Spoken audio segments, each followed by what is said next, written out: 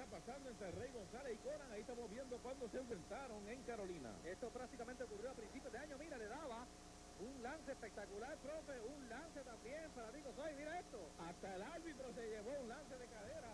Y ahí confundido, pero seguía la acción de un encuentro que fue espectacular. Rey González también enseñando sus grandes recursos.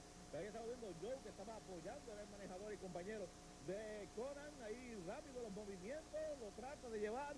Ahí lo tiene en las alturas, dispuesto a acabar con él, pero Conan se defiende y lo aplicó, le pudo aplicar la llave. Ahí lo lanza contra las cuerdas, lo espera y catapulta espectacular. Momentos importantes, profe, que solamente los estamos presentando a ustedes ahora.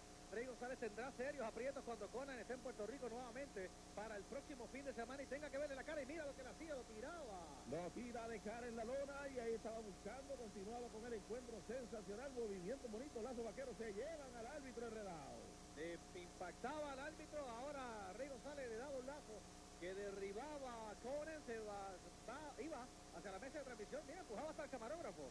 Ahí estaba, se dirigía con malas intenciones, que estaba buscando? Estaba buscando la correa del de la campeonato de la triple A y está acercándose a Rey González y viene con malas intenciones y había declarado, pero Joe estaba peleando por él, y paseaba Joe y le metía en la cara. Le daba con esa correa que era la correa que acreditaba Conan como el campeón de la Triple A, subía lentamente, trataba de mira, qué doble patada y se impactaba la misma vez con la faja en la cara. Le daba con la correa en la cara, agarraba el campeonato y le metía sólido en la cara un golpe, pero el árbitro mandaba a sonar la campana y esta historia se va a volver a repetir porque van a enfrentarse nuevamente.